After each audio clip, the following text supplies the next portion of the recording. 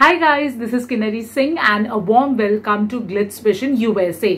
तो Bigg Boss OTT season two तो खत्म हो चुका है लेकिन ऐसा लग रहा है कि Bigg Boss OTT season two की जो अंदर की बातें हैं वो खत्म होने का नाम नहीं ले रही। चलिए हम आपको बताते हैं कि ये वीडियो किस चीज़ के बारे में है। तो जैसे कि आप सबको याद होगा कि Bigg Boss OTT season two के घर में अविनाश सचदेव ने फलक नास को कहा था कि वो उन्हें पसंद करने लगे हैं। और उसके बाद जब वो दोनों जन बाहर आए और दोनों से पूछा गया कि एग्जैक्ट उनका स्टेटस क्या है।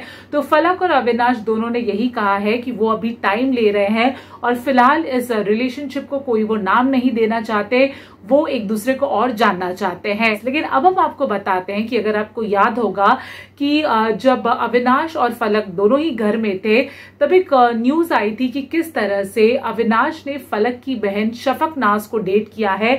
आज से तकरीबन 10-11 साल पहले उन्होंने एक शो किया था तेरी मेरी लव स्टोरीज जहाँ पे अविनाश ने डेट किया था शफक को, और वो जो रिलेशनशिप था, वो कहीं छह महीना लास्ट किया था।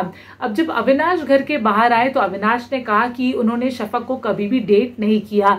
इस बात से शफक अब इतनी ज़्यादा नाराज़ हो गई हैं कि उन्होंने पब्लिकली एक स्टेटमेंट इशू किया है।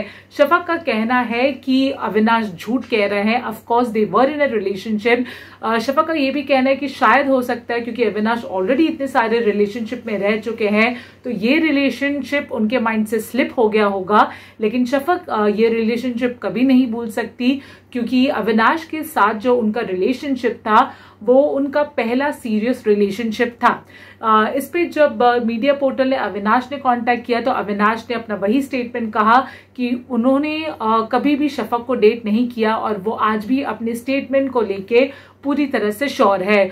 तो अब देखना ये होगा कि ये सारे ड्रामा का ये सारे कॉन्वर्जेशन का एंड नतीजा क्या है या फिर हो रही है तैयारी बिग बॉस 17 की आप हमें बताइए कि आपको क्या लगता है कमेंट सेक्शन में और ऐसे ही अपडेट्स के लिए फॉलो कीजिए Glitz Vision USA Hi, this is Megha Ray and you're watching me on Glitz Vision USA.